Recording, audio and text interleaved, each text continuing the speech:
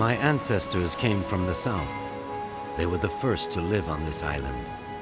It was not yet the island of orchids, but it already was the island of typhoons and storms. The island where the sea constantly talks to man from the end of the world. When they came close to the coast in the middle of the night, strange fish chased by their rowboats rose up in front of them and guided them to the shore. There, shipwrecked, a treasure awaited them. With the metal coins from this treasure, the Yamis forged their helmets.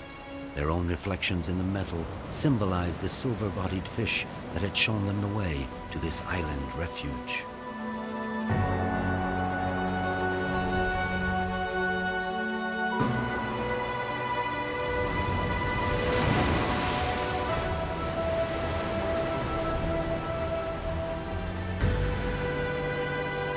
Still today, so as not to forget that first day, we seek out the flying fish and relive the night of the silver helmets.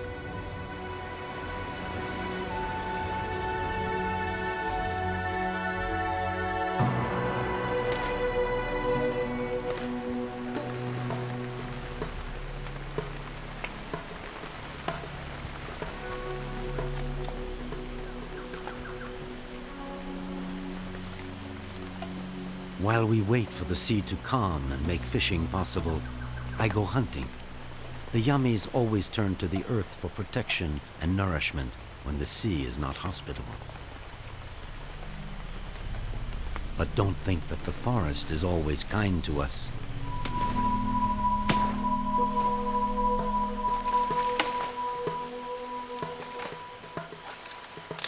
When a man goes hunting, no child left behind at home must draw anything on the ground.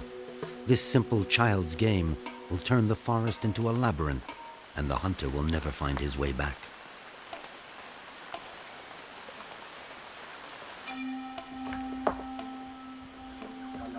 I always take a spear with me to keep the forest spirits at a respectable distance, but I never use it to hunt.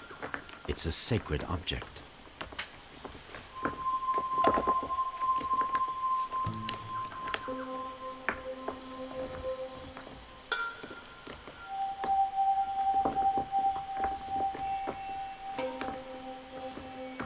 Further inland, there is no big game. We must go to the dried up riverbeds to find the dens where the fruit foxes sleep.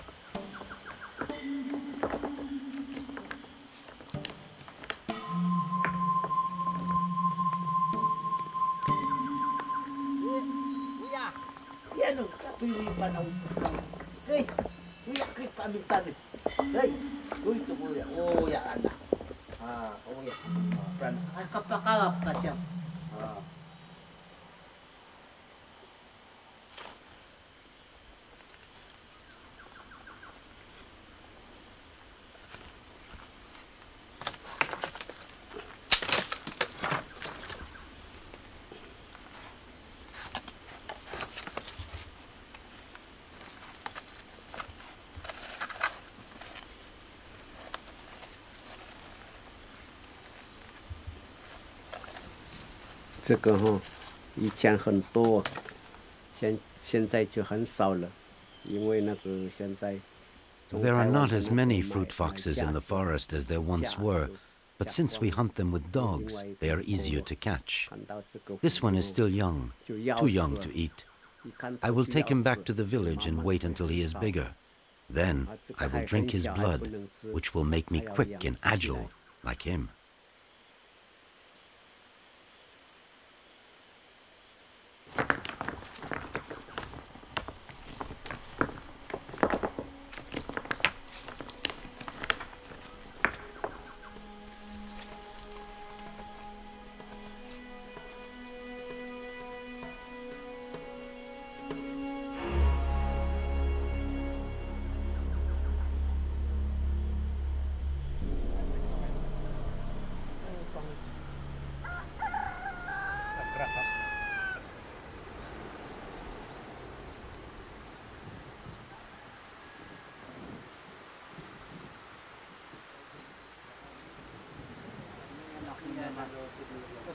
When the sea shows its anger and forces us to be patient, the earth is our only refuge.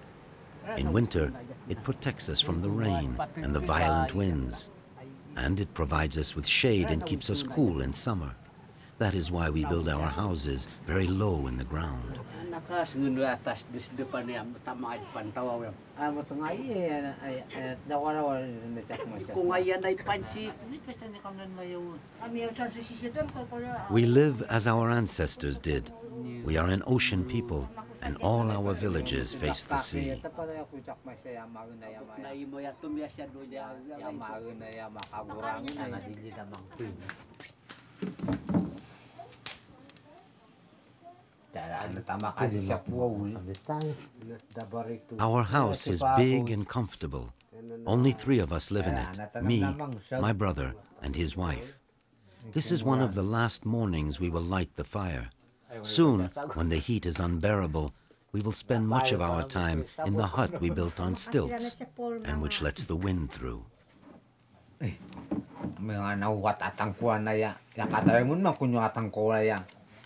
Mga nawat atang kuha na ya. Ya katay mo naman kunyo atang kuha ya. Paursada.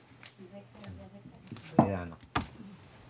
Ang yata na yan. Pananay. Kaya Ayan. Ito. Galaw ko na. Ah, gusto naman siya natin. Ito ano po.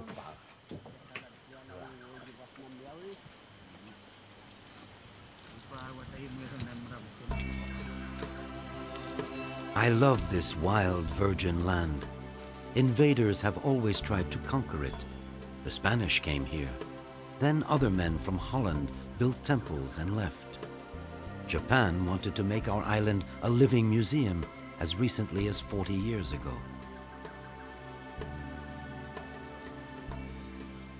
Today, we are under Chinese domination. At school, our children no longer speak our language, but we are still Yamis.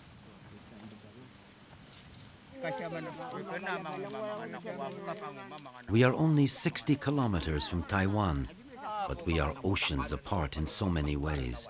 We live in different times.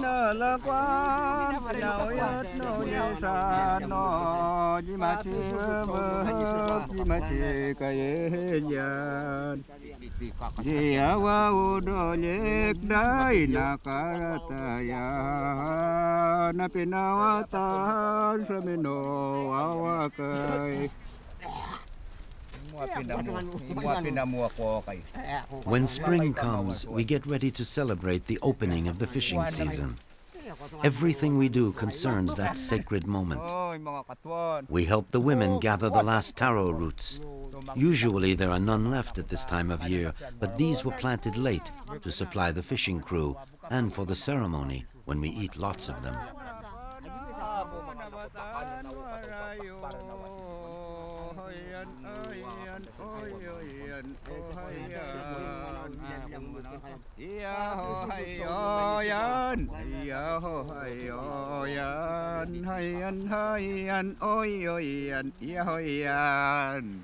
Now it's time to take our boats out of their winter huts and line them up along the shore to get them ready.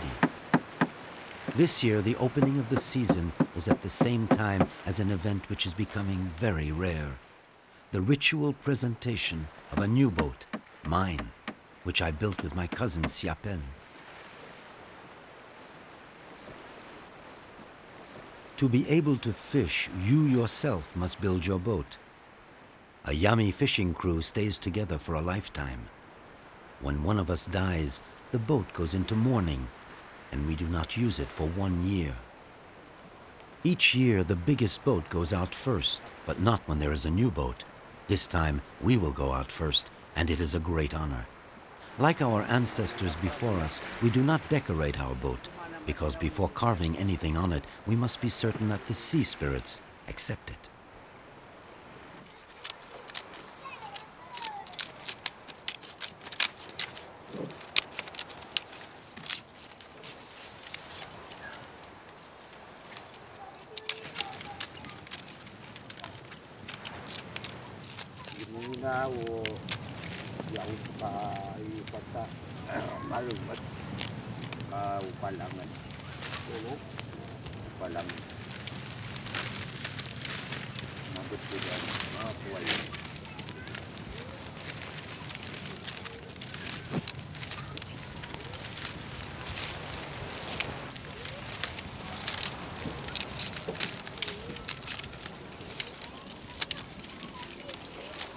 We look for the fish with black wings at night. The light leads them to our boats. Two months ago, I cut the bamboo shoots, and they are all dry now. We have to bind them together to prepare the torches.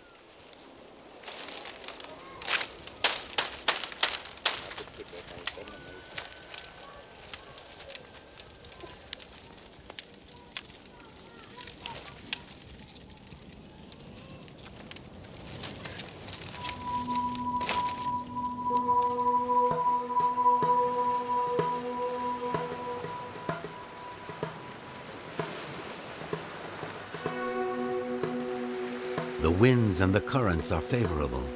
The moon is not full, so the light will not be too bright and frighten the fish away.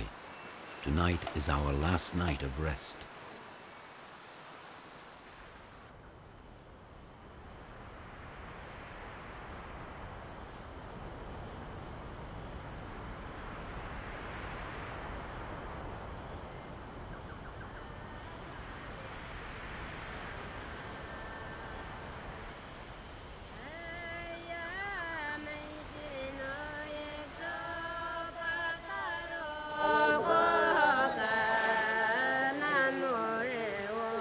For the ceremony, we wear the ritual costume our ancestors wore the day they first set foot on the island.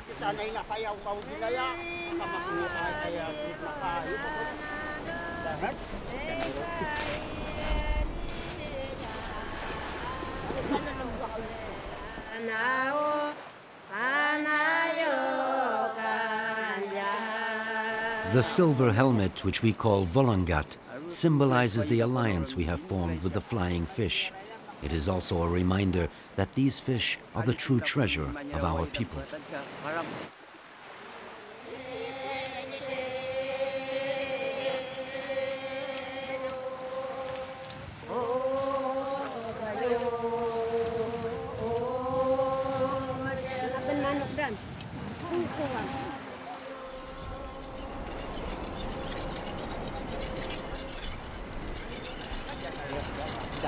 Tu. Hmm. Women may not attend the sacrifice.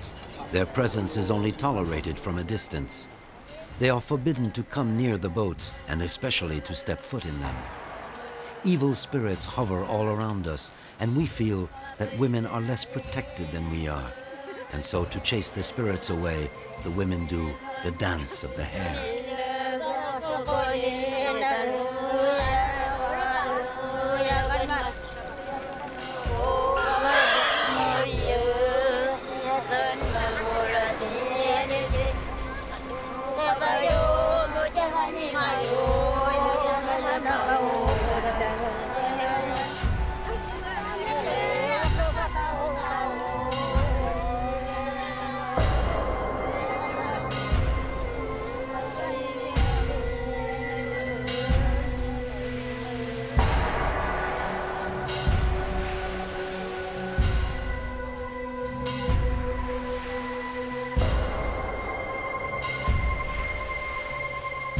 honor the flying fish, we kill a pig and offer its blood as a sacrifice to the sea and to the fish.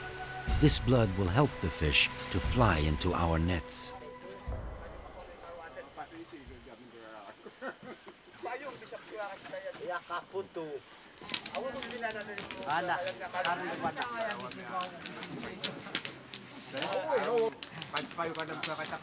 The big feast which precedes the first night at sea is a good opportunity for us all to get together and share the sacrificial meat and the taro with each family.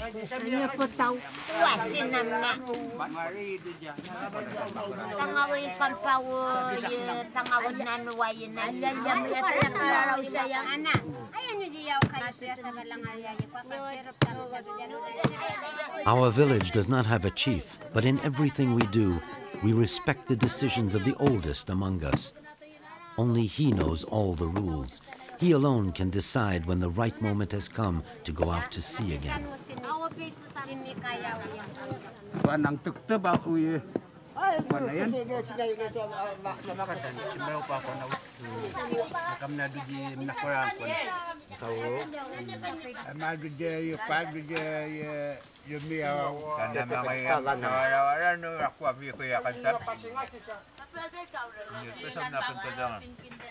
Panang tukta ba kuya? Mana yan? Simbao pa ako na Nakam na doon di nakurang ko. Amado dya yung pagdo dya yung miyaw. Tanda mga yan. Nawala-wala no. Ako abi ko yakan tap. Ito sa napunta doon. Before leaving, we listen to the story of Black Wings and sing his praises.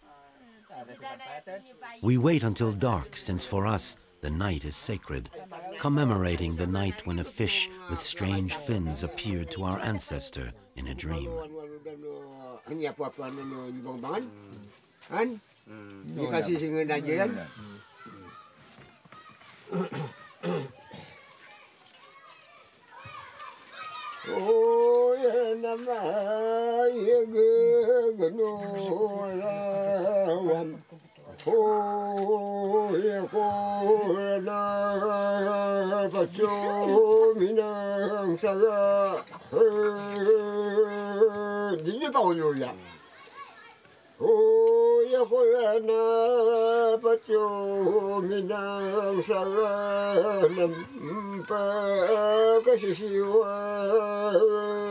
Oh ya ko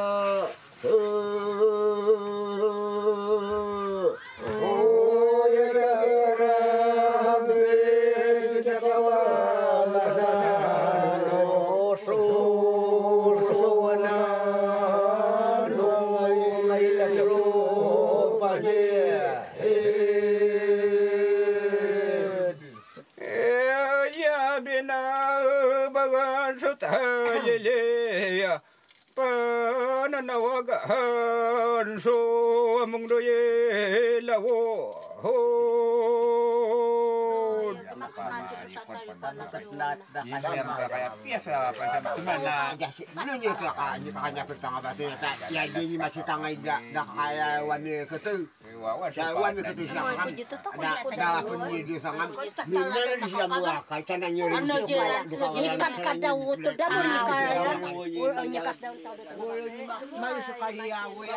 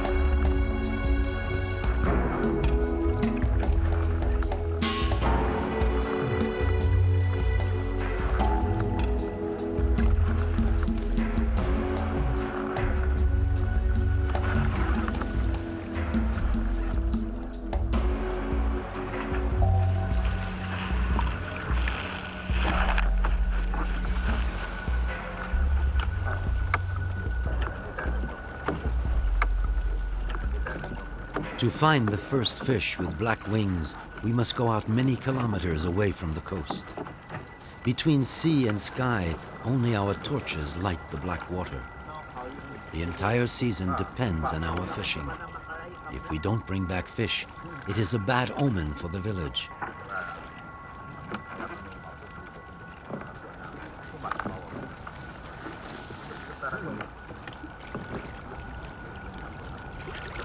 This is why I sacrifice a young pig, to attract the fish.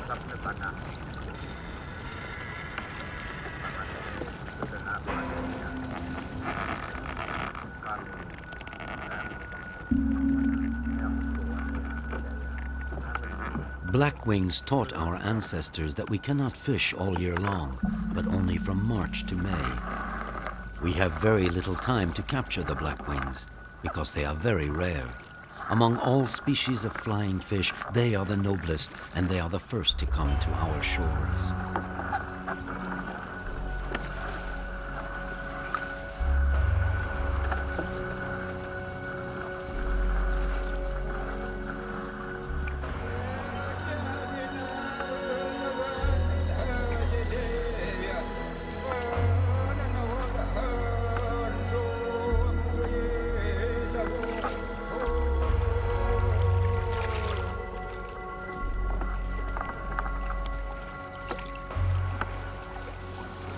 If other fish enter our nets, we must return them to the sea. We can only fish for one kind at a time.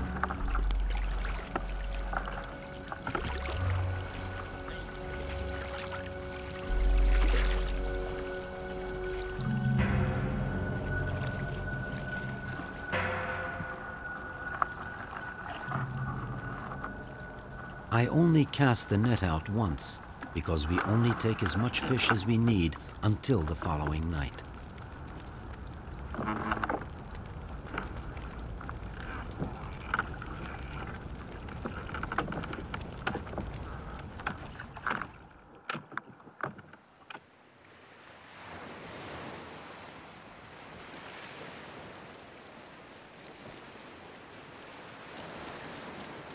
Keep the spirits from entering and poisoning the black wings, we leave them in the boat all night, covered with heavy stones. In the morning, we come back to clean and scrape them with knives that we use only for this purpose.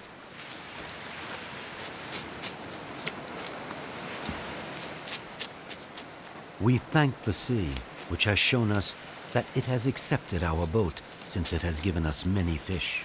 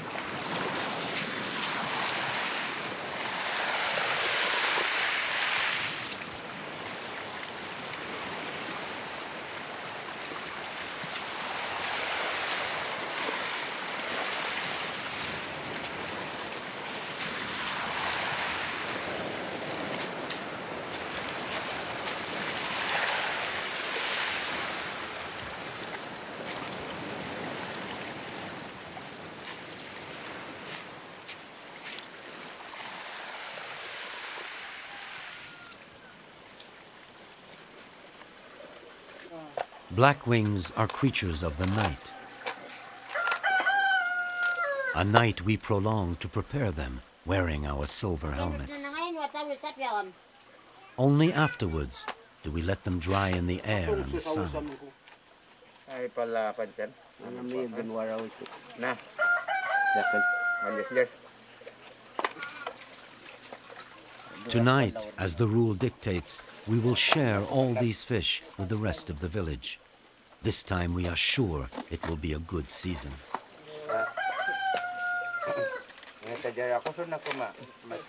Later, during the summer, other fish with red wings will come by the thousands into our nets.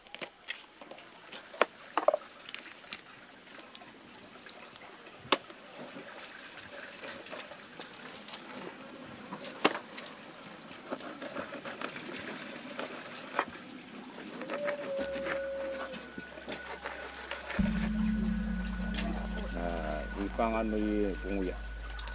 Ang mga raw. Hmm. Ako tamata, ano doon nga yakabuan?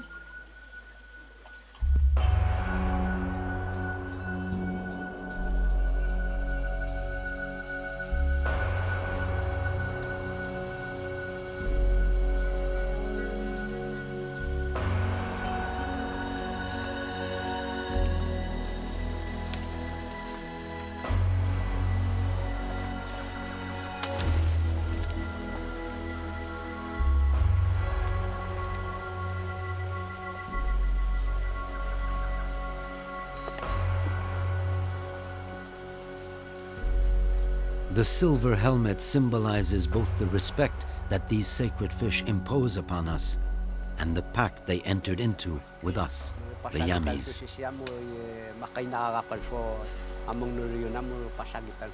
It reminds us that Black Wings comes with us when we fish. He protects us and includes us in the cycle of time. Each time we hang it back up at the end of the first day of fishing, we perform the same gesture our ancestors performed before us, and which, if the sea is willing, we will perform again next year.